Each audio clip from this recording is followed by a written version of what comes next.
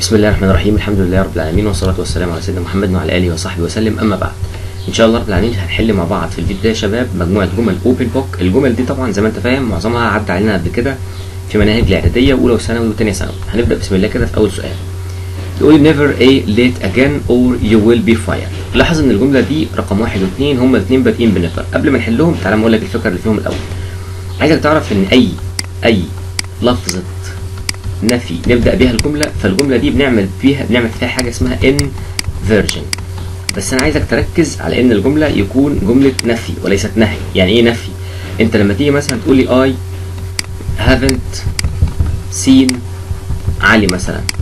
الجملة دي منفيه بتقولي أنا لم أرى علي من قبل فأنت بتنفي. ممكن نبدأ الجملة دي بكلمة never بقى. فالحالة دي هنعمل inversion. يعني هنجيب هنعمل inversion هنجيب الفعل المساعد وبعدين الفاعل وبعدين الفاعل. طيب الفعل ده هيكون نوعية مستر في المصدر تصريف أول تصريف تاني على حسب الفعل المساعد. ما أنت فاهم الفعل المساعد هو اللي بيتحكم في الفعل. يعني إيه على حسب الفعل المساعد؟ يعني إن كان معاك ال verb to be فحضرتك هتجيب الفعل مضاف ل ing لو معلوم أو هنجيب past participle لو مجهول. لو ال verb to have فسيادتك محتاج past participle لو ال verb to do فسيادتك محتاج الفعل في المصدر. طيب إحنا لما بصينا في الجملة دي أنت بتقول I haven't seen الفعل المساعد عندك هو have فلما نحب نعمل الجملة دي هنقول never وناخد الفعل المساعد زي ما اتفقنا هنا اللي هو have وبعد الفعل المساعد ناخد الفاعل اللي هو I وبعدين الفعل اللي هو هيبقى seen زي ما هو past participle عشان have و has بعدهم past participle والجملة تبقى never have I seen Ali. عايزك تفهم ان never have I seen Ali بتساوي I have not seen Ali أو I have never seen Ali.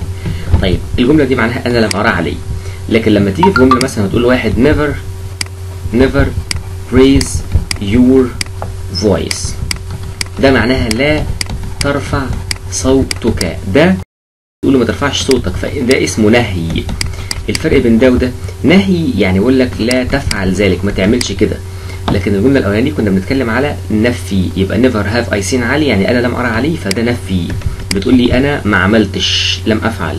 لكن دي معناها لا تفعل don't يعني بتساوي don't. فلما تقول never raise your voice دي أختها بالظبط don't raise your voice. طيب الكلام ده زي مين مثلا؟ أنت لما تيجي في جمله مثلا تقولي hardly hardly had I met سامي وتكمل الجملة الناحية الثانية بقى. hardly دي كلمة من كلمات النفي. لما تقولي hardly had I met سامي فدي كلمة من كلمات النفي. عشان كده بدأنا بفعل مساعد فاعل والفعل. طيب تعالى نرجع بقى لورقه الأسئلة بتاعتنا. أول سؤال. بيقول لك never late again or you will be fired. يعني وإلا ستطرد. يعني معنى كده نقول لك لا تأتي متأخرا وإلا ستطرد. يعني معنى كده إن دي جملة نهي. لاحظ إن ده نهي مش نفي. نهي فعشان كده أجيب بعده الفعل في المصدر دايما. فهقول لك never come late يعني لا تأتي متاخرا. طيب not late so you got that promotion. أنت لم تأتي متاخرا من قبل فده اسمه نفي أهو. أنت لم تأتي متاخرا من قبل عشان كده أنت حصلت على الترقية. طب كون نفي لما نبدأ بكلمة نفي في أول الجمله فبنعمل inversion يبقى نقول له did you come طب ليه ما ناخدش دي لأن دي بادئه بالفاعل؟ طب دي ودي ما فيهمش فعل مساعد وإحنا عايزين ال inversion يعني نبدأ الجملة بأداة نفي وبعدين فعل مساعد فاعل والفعل طب I went to school and not some uh, teachers. في الجملة دي برضو فكرتها كالتالي.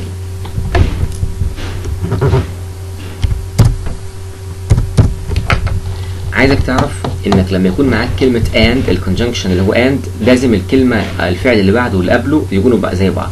يعني أنت مثلا بتقولي I eat early أنا باكل بدري and not. and sleep وال and slept واختيارات كتير كده. أنت قلت لي هنا أنا باكل eat مضارع حلو يبقى and يكون مضارع بعدها اللي هي sleep برضه. طب لو أنت قلت لي I came early أنا جيت بدري and not علي. يا ترى هتقول لي and see ولا and so انت هتبص في الجملة انت قلت لي came فعل زمنه ماضي. and يبقى ماضي برضه زيه يبقى and so. نفس القصة بتاعتنا في الجملة اللي هنا دي. I went to school and some teachers أنا ذهبت إلى المدرسة وقابلت بعض المدرسين فأنا عايز ماضي بسيط عشان ده ماضي بسيط. Who you do your homework برضه موضوع هو ده أوضح لك فكرته.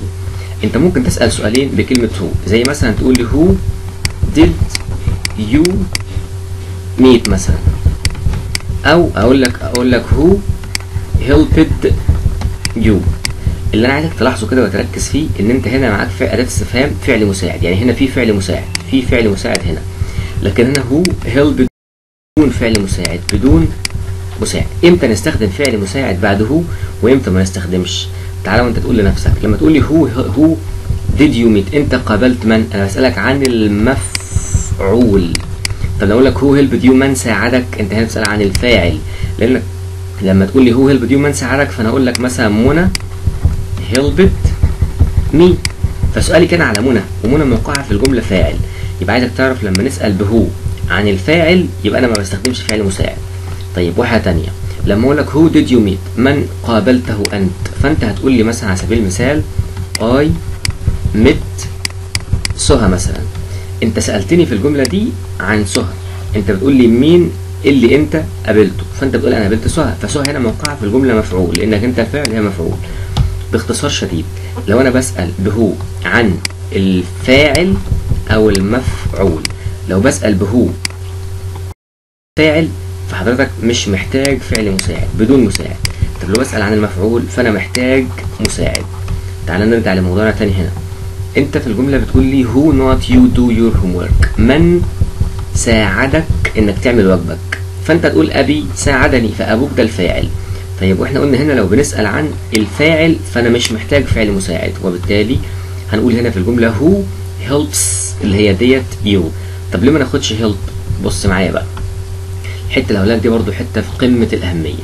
لو أنا عايز أقول لك ماذا يحدث عايز أقول لك من يأتي أو من يأكل السؤالين دول لما يكونوا في المضارع لازم يكون الفعل فيهم مضارع مضاف له اس. يعني ماذا يحدث؟ ما ينفعش أقول لك what happen لا أنا أقول لك what happens طيب أنا عايز أقول لك ماذا آه من من ساعدك مثلا؟ أو من يأتي من يأكل؟ يبقى who نقول who eats يبقى السؤال اللي اللي. اللي معناه ماذا لازم يكون الفعل مضارع؟ آه وآخره السؤال اللي معناه من يأكل من يشرب من يلعب اللي هو بيسأل عن الفاعل لازم يكون الفعل ده مضاف له s ما دام هو مضارع. لكن انت هنا قلت لي what happens ماذا يحدث؟ لو انت قلت لي what happened ده خلاص الموضوع خلصان كده ملوش دعوة ده ماضي. طيب who eats من يأكل؟ طب لو أنا قلت لك من أكل فأقول لك who ate ما ينفعش نضيف s. يبقى باختصار السؤال بتاع ماذا يحدث؟ لازم يكون الفعل مضاف له s. طب السؤال بتاع من يفعل؟ لازم يكون الفعل مضاف له s. بنعتبر إن الفعل ده مفرد. My mom got up early. أم صحيت بدري. She could catch the train أم صحيت بدري آه تلحق تل... هي هي استطاعت أن تلحق بالقطار. المشكلة هنا جايب لك الفرق بين الكلمات دي. قبل ما نحل تعال نشوف الفكرة الأول وبعدين نرجع نحكي. عايزك تعرف إن كلمة to بتساوي in order to. بتساوي so as to. الناس دي كلها الناس دي كلها معناها لكي وبيكون كلهم بعدهم جملة سليمة. يعني مثلا I study أنا بذاكر to boss لكي أنجح. ممكن نشيل to نحط مكانها in order to so as to أو أحط to بس. ثلاثة كل دول كلهم معناهم بنفس المعنى معناهم لكي. عندك في كلمة اسمها so that اللي بتساوي in order that بتساوي آه كلمة so that اللي بتساوي in order that الناس دي كلها بيجي بعدها جملة سليمة ومعناها برضو لكي. طيب انت قلت لي I study to, to boss ممكن تقول لي I study so that I can boss. يعني أنا بذاكر لكي أنا أتمكن من النجاح. ممكن نشيل كلمة so that نحط مكانها in order that. يبقى عايزك تفهم الناس دي so that و in order that معناهم لكي بس بعدهم جملة سليمة. إني to و in order to so as to معناهم لكي بس بعدهم فعل في المصدر أنا كتبت جملة إزاي؟ فعل في المصدر يعني أنت لما قلت لي I study to جبت المصدر لكن لما قلت لي I study so that وكملت جملة سليمه طب دي حتة. الحتة الثانية عايز تعرف إن في so وبعدين صفة في النص وبعدين ذات دي معناها جدا لدرجة أن. She is so happy that she dances. يعني هي بتكون سعيدة جدا لدرجة أنها ترقص. فعايزك تميز بين الثلاث كلمات دول. كلمة so لوحدها معناها لذلك. so نقط that اللي هي في النص في صفة. دي معناها جدا لدرجة أن. so that معناها لكي. تعال نرجع لسؤالنا. أنت بتقول لي my mum got أمي صحيت بدري هي استطاعت أن تلحق بقطار. so that معناها لكي ولا to معناها لكي ولا so صفة. محتاجين هنا في النص صفة فكل المقاييس دي غلط. in order to معناها لكي. بس أنا عارف أكيد وحافظ. ان in order to لازم بعدها الفعل في المصدر. أختها الثانية to اللي بعدها الفعل في المصدر. so that اللي معناها لكي لازم بعدها جملة. تعال نشوف كده في الجملة أنت بتقول إيه بيقول لي أمي صحيت بدري لكي تتمكن من الحاق بالقطار. بس هو مديني فاعل وفعل ومكملات يعني مديني جملة سليمة. يبقى ما ينفعش in order to لأن عايزة بعدها مصدر ولا ينفع to لأن عايزة بعدها مصدر. يبقى الإجابة هنا so that طيب رقم 6 I feel when I إيه طيب برضه موضوع feel دي خد بالك منه. انت ممكن تستخدم feel ونجيب بعدها صفه أو ممكن تقول feel great وتجيب بعدها اسم. إيه يعني إيه بقى اسم والقصة ديت؟ تعال نشوف. انت ممكن في المثال تقول لي I feel sad أنا اشعر بالحزن. ادي feel وجبنا بعدها صفه أو تقول لي I feel great sadness لاحظ اللي انت عملته انك لما تستخدم feel لوحدها بنجيب صفة. يعني I feel sad I feel happy I feel relaxed. لاحظ إن بعد كلمة feel دايما صفة. لكن لو انت قلت لي I feel great لازم تجيب بعدها اسم. فتقول feel great sadness feel great happiness feel great relaxation وهكذا. هنا جاب لي feel لوحدها فإما أستخدم happy أو أستخدم sad. الأسماء دي مش موجودة معانا. طب كمل الجمله when I meet my teacher لما أقابل مدرسين أصلا أنا بحبهم يبقى I feel happy أشعر بالسعادة. طب I feel great إيه when I see a caged animal. أنا بشعر بإيه؟ محبوس في قفص cruel معناها قاسي. happy يعني سعيد. sadness يعني حزن. sad يعني حزين. لاحظ إن دي صفة. ودي صفة ودي صفة. وإحنا متفقين لما يكون في feel great بناخد اسم اللي هو كلمة sadness طيب I saw your dad in the park. I am إيه بقى؟ أنا شفت باباك في الشارع. أنا نقط surely يعني بالتأكيد. ينفع أقول لك أنا بالتأكيد؟ لأ. positive دي لها معنيين معناها إيجابي ومعناها متأكد. وده اللعبة اللي في الموضوع وبالتالي الإجابة هنا. يبقى أنا رأيت أبوك في الشارع أنا متأكد. طب negative دي معناها سلبي post معناها ال post اللي هو المنشور في الفيسبوك أو كده ومعناها وظيفة. ومعناها البريد البوسطه يعني. طيب I always have fun not TV المصطلح والفكرة اللي في الموضوع في الجملة دي إن have fun بيجي بعدها الفعل مضاف له اي جي أنا بستمتع بالجري. I have fun running. أنا بستمتع بالنوم. يبقى I have fun sleeping. الجملة دي أولى إعدادي. فلاحظ إن أنا بلم لك جمل من أكتر من مكان احفظها. يبقى I always have fun watching TV هنا. بالمناسبة a watch ينفع نجيب a قبل الفعل. لما هو a watch هنا أصبحت ساعة يد. I have been trying to open the door. بحاول أفتح الباب but I still find a hard to do. بص أنت بتقول بحاول أفتح الباب ولكنني ما زلت أجد أنه من الصعب أن أفتحه. ركز معايا في المصطلحين اللي هديهم لك دول أو التعبيرين دول. ممكن نقول find it it زائد صفة أو find ذات ولازم بعد ذات يكون في جملة كاملة. تاني كده find it وصفة find ذات وجملة كاملة. يعني مثلا أقول لك I find it easy to run أو I find. That running is easy. يعني انت لما قلت لي فاعل وفعل ومكملات لما تيجي نبص دي كده انت هنا في الجملة بتقول but I find not hard. يبقى find صفة فانت محتاج هنا it. يبقى find it hard. طب I have been trying to open the door but I find that لازم بعدها جملة سليمة. فيها فاعل وبعدين فعل ومكملات. آدي الفاعل وادي الفعل يبقى it is.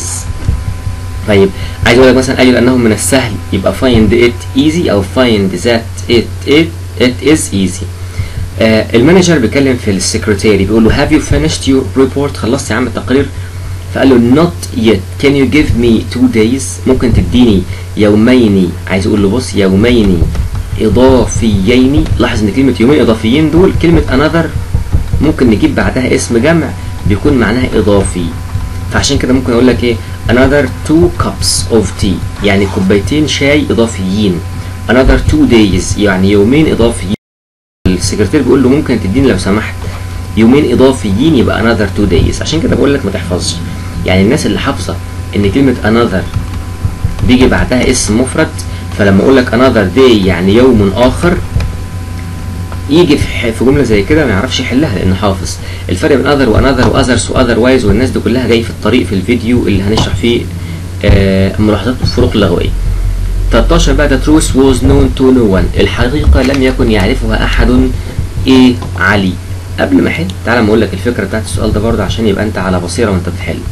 عندك كلمتين. في كلمة اسمها other.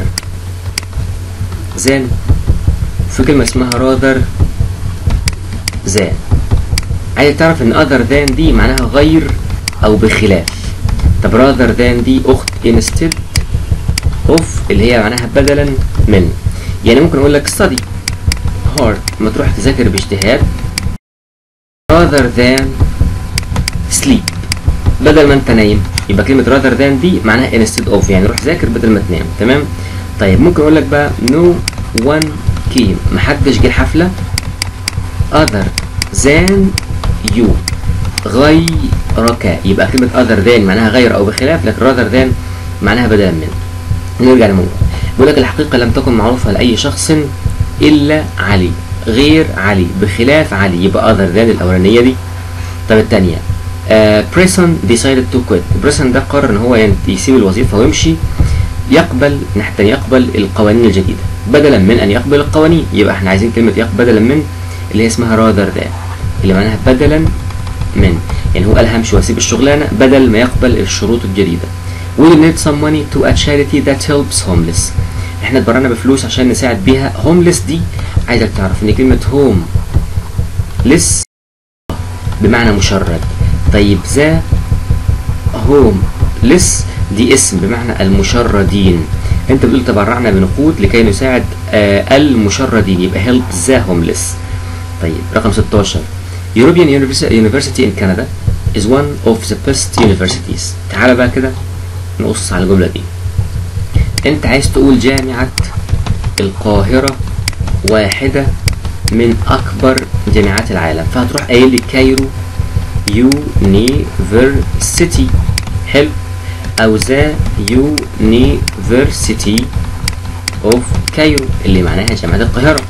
طيب افرض أنت عايز تقول لي مثلا الجامعة الأوروبية.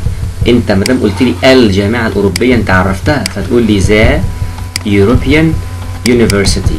طب لو أنت عايز تقول جامعة أوروبية هتقول لي European University. طب ما تيجي نشوف هنا وعايز يقول إيه. بقول لك جامعة أوروبية في كندا الموجودة في كندا. يبقى هو عايز يقول لك الجامعة الأوروبية الموجودة في كندا. يبقى أنت محتاج تقول له ذا طب اللي بعدها؟ You look tired. شكلك تعبان. Why not have some rest? الفكرة بتاعت الجملة دي في الآتي إن لما أقول لواحد why don't you والفعل في المصدر دي بتساوي كلمة why not والفعل في المصدر. فأنا بقول لك أنت شكلك تعبان. لما لا تستريح؟ فهقول لك حاجة من الاتنين. Why don't you rest أو why not rest أنا قدامي هنا why not rest. في هنا don't you في الاختيارات؟ لأ. يبقى why not على طول. first علي معرفش إيه. قصة first و second دي برضو حكيتها لك مرة قبل كده بس أحكيها تاني. عايزك تعرف إن الجملة لما يكون فيها first و then لازم الزمنين بيكونوا واحد. يعني مثلا أقول لك first help me. then sleep. help يساعد و sleep ينام. الاتنين مصدر طب first I came home. then I met عمر. يعني لازم الاتنين يكونوا نفس الزمن. فانت هنا جبت لي first علي not then he talk. ماضي بسيط فانت عايز هنا ماضي بسيط يبقى بود طيب he as well as his parents meet الفكرة بتاعت الجملة دي في الآتي. إن كلمة as well as بيجي قبلها اسم وبعدها اسم اللي هو اسمه فاعل وده اسمه فاعل. القاعدة بتقول لك إن الفعل على الفاعل الأول. اللي هو مين الفاعل الأول؟ اللي هو هنا. طب مثال لما نقول مثلا I. as well as منى not happy. يا ترى هنقول هنا is ولا هنقول am ركز في الكلمتين دول. لو انت هتاخد على ال I فهناخد am لأن I am. لو هناخد على منى هناخد على is. طب ممكن ناخد على الاثنين وناخد are فالفكرة بتاعت الموضوع. بيقول لك إن الفاعل أو الفعل على الفاعل الأول اللي هو ال I فناخد مع ال I am يبقى am فتبقى الجملة I as well as منى am كذا. كأنك بتقول بص أنا عامل زي منى بالظبط عيل رخم. زي ما تقول برضو مثلا على سبيل المثال منى as well as her parents not to. هنا هنقول is ولا are افهم كده؟ أنت بتقول لي منى دي عاملة زي باباها ومامتها بنت طويلة. فعشان كده خدنا على مين؟ على خدنا على منى اللي هو الفعل الأولاني اللي جه قبل از والاز وبالتالي هنا أنت بتقول لي هي فانا عايز الفاعل الأولاني هي والفعل الثاني بيرنتس ده مفرد وده جمع. يا ترى نقول إيه بقى؟ إيت ميت إيت؟ لا ما ينفعش ناخد إيت لأن هي وشي وايت بضيف الفعل إس يبقى ناخد إيتس. طيب which one is correct مين من دول صح؟ قبل ما نحل الجملة دي عايزك تعرف. لو أنت عايز تقول ملك من هذا الشيء فتقول whose وبعدين اسم الشيء is that لو كان مفرد أو إنك تقول whose اسم الشيء are these لو كانوا جمع. انت بتسال على الكتب يبقى انت عايز تقول لي whose books are these طيب يبقى whose books are these الرقم دي اللي صح. بعد كده 21 منى is a lot of إيه بقى بص بقى. ركز في دي كويس. منى. أو عايزك تعرف إن is a lot of fun. دي بتساوي is funny. الاتنين بنفس المعنى. لو انت هتستخدم a lot of هتستخدم fun. طب مفيش a lot of يبقى funny. والاتنين دول معناهم شخص مرح. فجملتك بيقول لك منى دي a lot of fun يعني مرحة جدا لذلك أحبها. عمر is the A of two brothers. فكرة الجملة دي كالآتي. إنك لما يكون معاك of إنك تقول لي of two يعني من بين اتنين. وأنت عارف إن المقارنة بتحصل بين اتنين والتفضيل بيحصل بين أكتر من اتنين. طيب على سبيل المثال أنت لما تيجي تقول لي مي ذا not of two sisters. يا ترى هنا هن... هنجيب دي smart ولا smarter ولا smartest لو انت حافظ القاعدة بس هتقول لي والله يا mister the بنجيب بعدها صفه التفضيل آخر st فهقول لك غلط. ما دام قال لك of two يعني معنى كده ان إن مي ومعاها حد تاني يعني هما اتنين. والاثنين بيحصل بينهم مقارنة يعني بيكون الفعل الصفه آخرها er يبقى أنت هنا محتاج تقول smarter نفس اللي انت هتعمله هنا. عمر is the not of two brothers يعني عمر ومع اخوه يبقى دي مقارنة. والمقارنة بيكون آخرها er يبقى the taller دي حاجة غريبة. إزاي مش المفروض the tallest لأ دي مقارنة مش تفضيل. My brother is really not of. هنا أنت عارف إن كلمة interested in وإن fond of وإن keen on وإن like من غير حاجة خالص. لو عايز أقول لك مثلا مهتم بالقراءة interested in of reading keen on reading like reading. المهم أنا قدامي of. Of دي بيجي معاها fond يبقى أنت عايز fond سالي is never on time. She always comes يا ترى. سالي عمرها ما جت في الوقت المحدد. دايما بتيجي متأخر. بص بقى يا سيدي. كلمة ليت دي معناها متأخر. متأخر يعني. ومعناها مرحوم. فلما نقول ليت منال يعني مرحوم منال الله يرحمها. طيب الحاجة الثانية latter دي معناها الثاني من اتنين من بين اتنين. يعني أنت ماسك قلم وقلم. فأنا قلم مثلا رقم واحد وقلم رقم اتنين. فأنا بقول لك اديني قلم لو سمحت. رحت أنت مديني القلم رقم واحد. أقول لك no give me the latter أنا قلت لك the latter لأن هم أصلا اتنين. يعني الآخر من بين الاتنين طيب later دي معناها بعدين. see you later أشوفك بعدين. litter دي اللي معناها الزبالة. طب latest معناها أحدث. فلما نقول latest fashion يعني أحدث الموضة. latest آه news يعني أحدث الأخبار. أنت بتقول لي سالي دي عمرها ما جت في وقت محدد. دايما بتيجي متأخرة. عايزك تعرف إن كلمة late دي صفة وظرف. يعني إيه صفة وظرف؟ بص كده لما أقول لك I get up late. أنا بصحى متأخر. كلمة late دي هنا في الجملة دي عشان جاية بعد الفعل فهي ظرف. لما لما تقول في جملة مثلا ثانية I am late. late دي جاية بعد ال verb to be فهي صفة. ف late تنفع صفة وتنفع ظرف؟ وده موضوع سؤال في امتحان عادي. ال part 2 بقى عايزك تعرف مين الجملة الصح ومين الجملة الغلط. سريعا كده أول واحدة. بيقول لك decide which one طبعا هو بيقول لك حدد لي مين الصحيحة ومين اللي مش صحيحة وصححها لي. I have been knowing Omar since my childhood. دي غلط تماما. ليه؟ لأن كلمة know وكلمة have لو معناها يملك لو معناها يملك ها لا تأتي مستمر. يبقى الجملة المفروض تبقى I have known مش I have been knowing. I am having a breakfast يعني أنا أتناول الإفطار. دي صحيحة لأن هي معناها يتناول مش معناها يمتلك I am having a car دي غلط لأن كلمة have لو معناها يمتلك ما تجيش مستمر. I wouldn't rather بص بقى لو أنت عايز تقول لي أفضل فتقول I would rather. لو أنت عايز تقول أفضل النوم مثلا يبقى I would rather sleep. طب أنت عايز تنفيها فهتقول I would rather ونستخدم بعد would rather هنا كلمة not. يعني النفي يا شباب بيكون بعد would rather. اوعى تعملها وتقول I wouldn't rather. ده غلط تماما. تاني كده تاني؟ اكتبها هنا كده. عندك I. I would rather. بيجي بعدها الفعل في المصدر ده لو إثبات. طب أنا عايز انفيه فأنا أقول I would rather not. وأجيب الفعل في المصدر طب لو أنا قلت I wouldn't ما هو الفعل مساعد. لو أنا قلنا wouldn't rather مثلا والفعل في المصدر ده كده غلط. يبقى عايز تفهم الكلام ده عشان الكلام ده مهم. زيها بالظبط I had better لأني أعتقد ان كاتب السؤال اللي بعدها عليها. I had better والمصدر طب أنا عايز أخليها من يبقى I had better not والفعل في المصدر تعالى هنا كده. أنت بتقول I wouldn't rather طبعا wouldn't rather غلط. المفروض تبقى I would rather not في الآخر. طيب الجملة اللي بعد كده. بيقول لي I hadn't better برضه hadn't better غلط. اسمها I had better وبعدين not طيب my uh, I, I stopped علي to telling my dad about كذا. موضوع stop دي سريعا. في stop to وفي stop ing وفي stop from ing. stop to معناها يتوقف لكي يفعل شيء. طب stop ing معناها يبطل يعمل شيء معين. طب stop from معناها يمنع شخص من فعل شيء. على سبيل المثال أنا عايز أقول لك وإحنا ماشيين عايزين نتوقف لكي نقرأ الجر... الجورنال. يبقى stop to read stop to read يعني نقرأ الجورنال. طيب واحد بياكل سندوتشات والسندوتشات دي بتضره فنقول له بطل أكل. يبقى نقول له stop eating زي ما إحنا بنقول stop smoking مثلا. stop smoking توقف عن التدخين. طب stop from معناها يمنع شخصا من أن يفعل شيء. أقول لك هي stopped me from leaving. يعني هو منعني من المغادرة. طيب نرجع لموضوعنا بقى. آه I stopped علي to telling أنا وقفت علي من إن هو يخبر دادي أبي عن نتائجي لأن أنا مش عايز أبويا يعرف حاجة. يبقى أنا منعته. يبقى I stopped علي to تبقى from. stopped علي from. منعته من أن يفعل ذلك. Smoking is dangerous. التدخين ده شيء خطر. بطله. توقف عنه. يبقى stop smoking. توقف عن التدخين بطل تدخين. Egypt is in charge of our president. هنا بقى في مشكلة.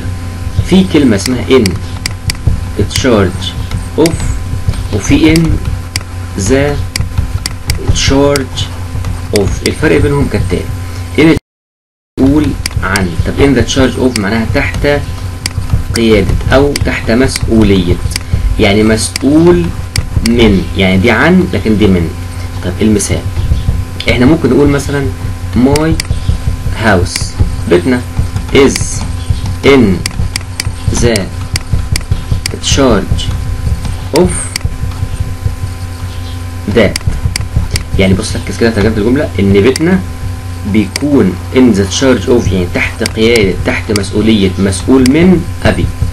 ده معناها إن ده إن أبويا is in charge of our house. ده معناها إيه؟